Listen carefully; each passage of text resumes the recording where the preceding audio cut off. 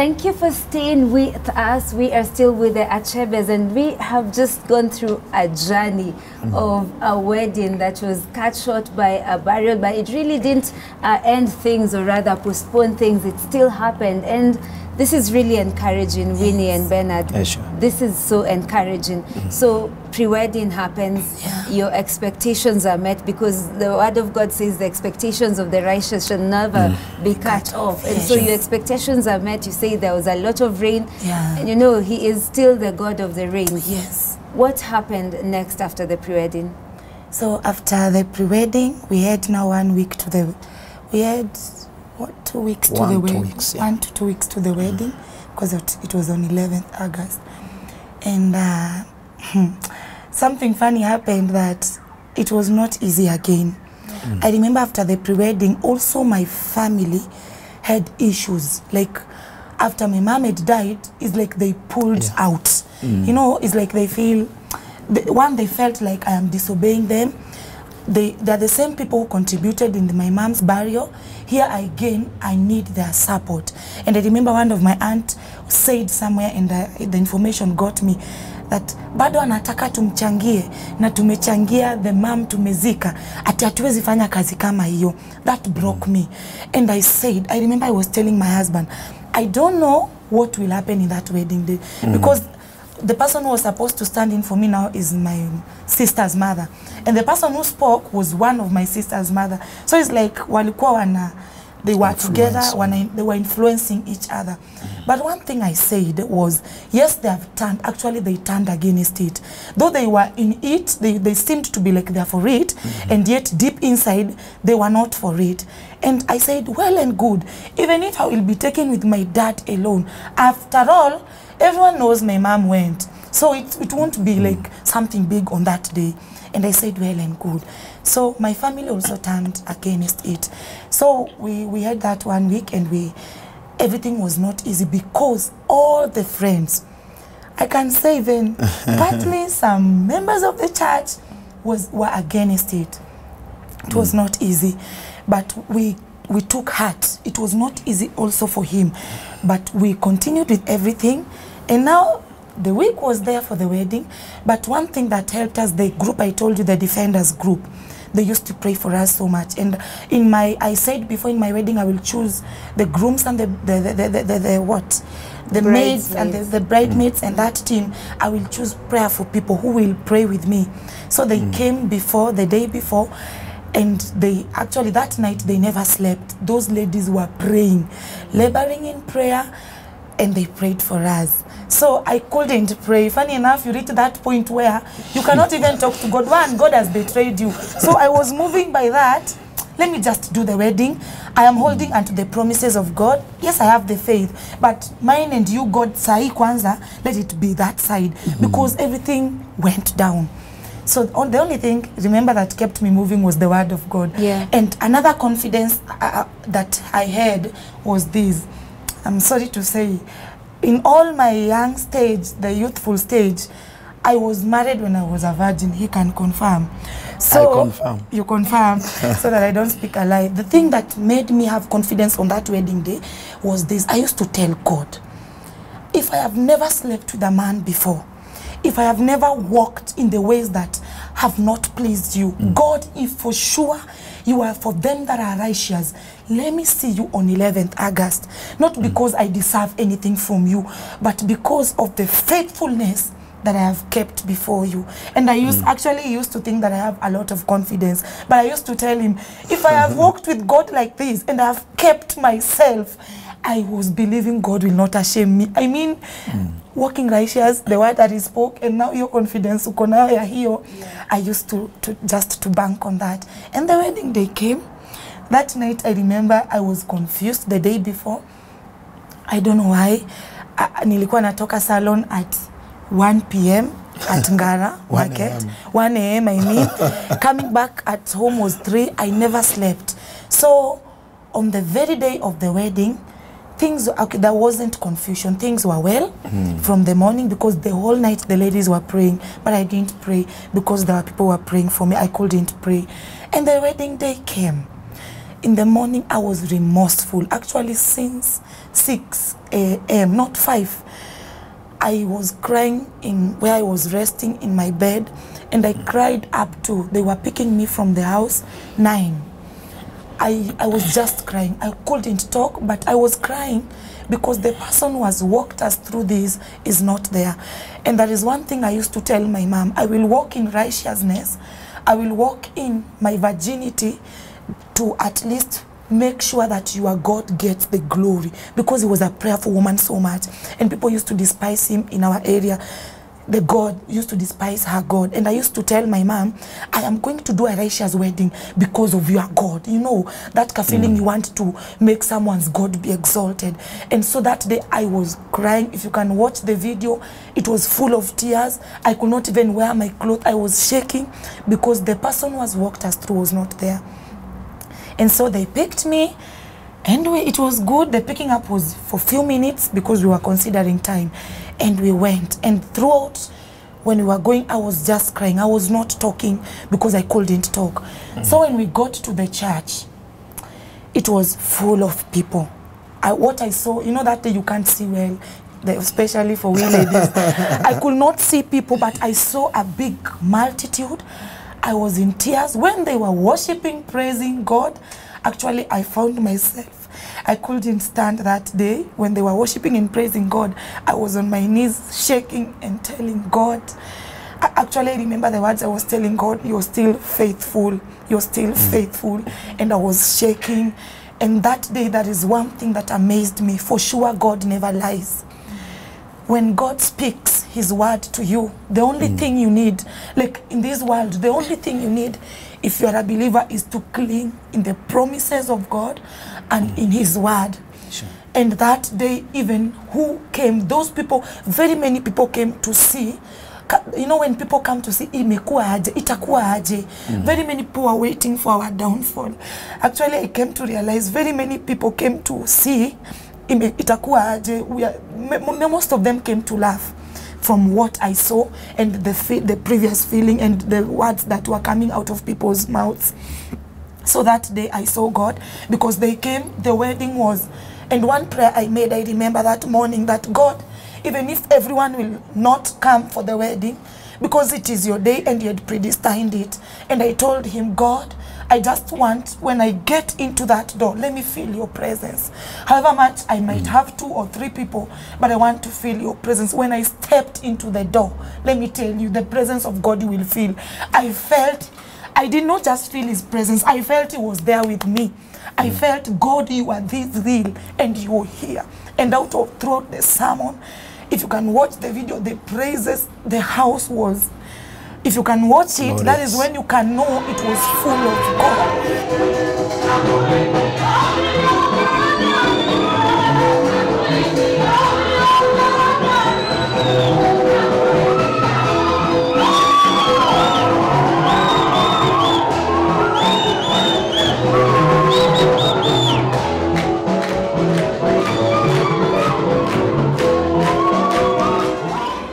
May the Lord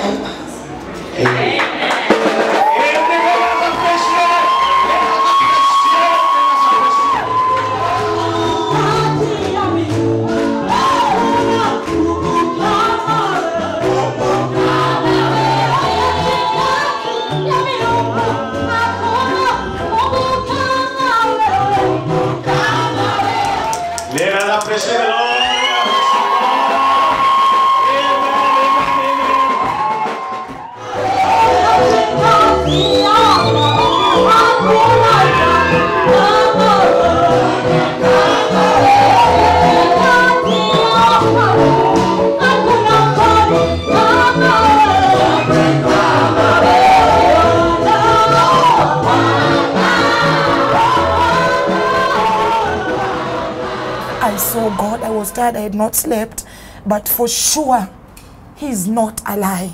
And if you walk with Him accordingly, if you walk in, if you are a youth, if you walk in righteousness, you will never be ashamed. Just as David says, he has never seen. And for sure, I thought I would be the first one after I had lost my mother and everything was darkness in my life. But that day I saw a broad light. And when we went home, when we went home sometime after the honeymoon, my dad told me one thing that that day when you're being married, I saw a huge light from heaven coming down. And I said, So I didn't feel this alone. It was glorious, and God just came. He came by himself, He didn't send anyone. And so, for sure, God is a great God. If you walk with Him, if you are faithful, if you walk in His righteousness, if you have faith and you focus on Him, one thing that will happen is people will turn away, people will run away, people will despise you, many will laugh. Actually, after saying it is one month, people will wait for your downfall. But the only thing you need is to focus on God, is to hold unto His promises, and you will. Amen. That's really powerful. Wow. And even as we're come into a close, maybe Yeah. Bernard, uh, mm. what were your feelings on that particular day? I know sometimes people say the wedding is for the woman, but Yeah, sure. what experience can you give of and can you attest of this God that we serve? Yeah, actually, on personally on the wedding day, uh, I was waiting with an expectation that God let this come to pass, because to me it was going to be a fulfillment of uh, something that I knew the Lord was leading me to, and so because even at that time, just to recap, I lost my job immediately. I declared I wanted to marry her. So I was running on faith. And so I knew if this comes to pass, I'm sure whatever is ahead of me, I was going to handle. Because um, there, there are people who I had shared to that, uh, you know, I, I'm planning a wedding and I don't have a job. And people would laugh. I remember some of uh, my friends would meet in an hotel and they're like, this guy is a joker. I, I think there is something that is not working in your mind. How, how do you tell us you were telling us to come for your wedding, come for pre wedding, but you don't have a job? But I said no. If I know that it's the Lord going to do this, let's do it. It doesn't matter. So on the wedding day, I I, I felt the peace of God because I knew uh, God was in it. We had prayed over it, and and so I was waiting. Let me let me. I I, I was determined. Let me have the lady, irrespective of whatever. And so it was good. Yeah, because uh, many youths few can make a decision to marry. I remember uh, in the same July, it's when I took her home because my parents told me, no, you cannot marry a stranger. We need that lady to see her. So I took her home, and, and they were like, you know, my parents, my parents knew uh, I don't have a job, I'm not stable enough, and they're like, okay, you, why are you insisting on this? What is giving you confidence? But I thank God because one thing I was driving on was whoever finds a wife finds a good thing and obtains favor from God. So I knew if this thing works out, what's a job? That's a small thing. And and and surely enough, that is what happened. I married and got a job. Wow, that's really powerful. And you know, um, there's so much I would engage you on, and I'm so pressed for time. But someone is out here listening to us, and they're in a place of despair.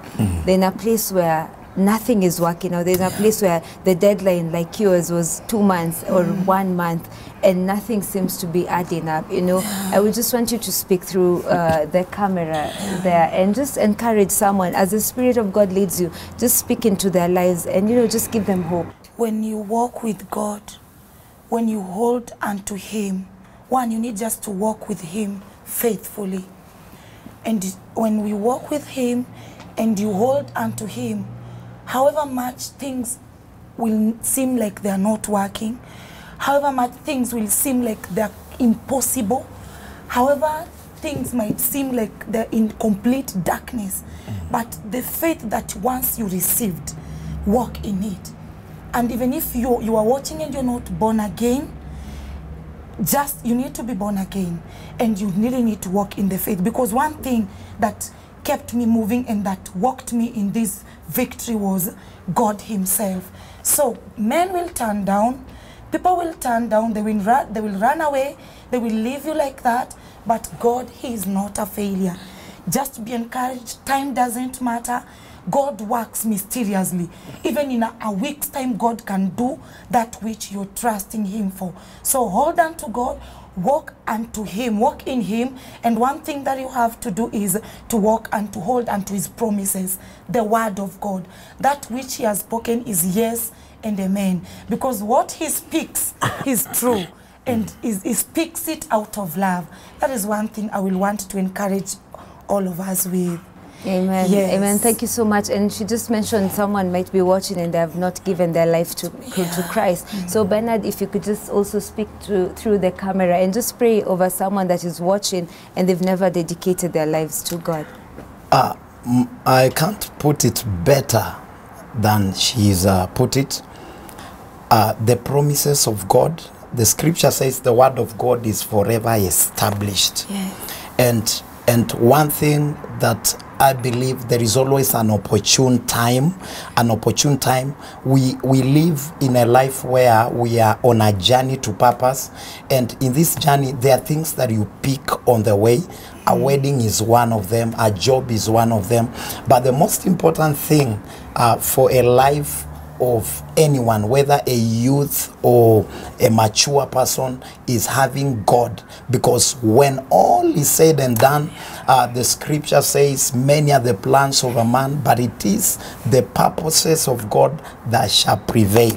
And so I want to. To, to believe if you're not born again give your life to christ believe and and confess according to the word of God and and receive Christ he's able to walk with you he's able to be of help when situations are are are not working for you. And so, if you're not born again, you can repeat these words after me and say, Lord Jesus, I repent of my sins. I accept you into my life. Wash my sins away and let me walk with you. If you've made that prayer with faith, believing you have Christ in you, and you will not be disappointed.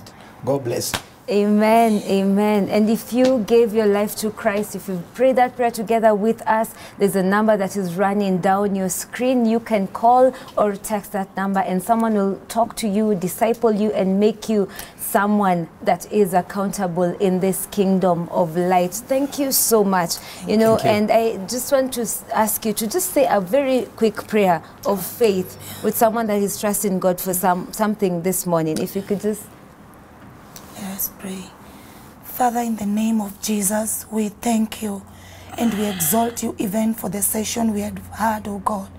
And Lord, we pray even for the viewer, someone who is trusting in you, someone who is hoping in you, mm. someone who has lost hope in life, someone who has reached at a point of even giving up, someone who is feeling that all is lost.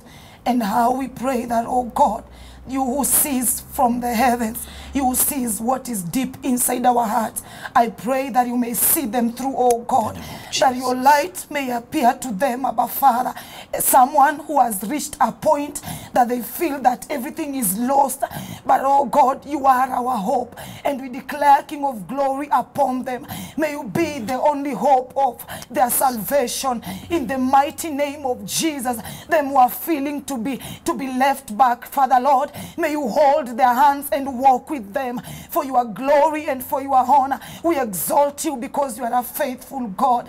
In Jesus' mighty name, we have prayed and believed. Amen. Amen. Thank you. Thank you so much. God you. bless you. Thank you for making time. This is such an encouraging story. I'm sure someone's life has been turned around. I'm sure someone has has now faith to hold on to. May God bless you so much. And we, tell us more when God does something. Talk Sure. to us, and I'm sure. God is going to bless you. Thank you so much for making time this Thursday. Until next Thursday, I have been your host, Maria Macau. Let's meet then. Keep it Hope TV where you look and live.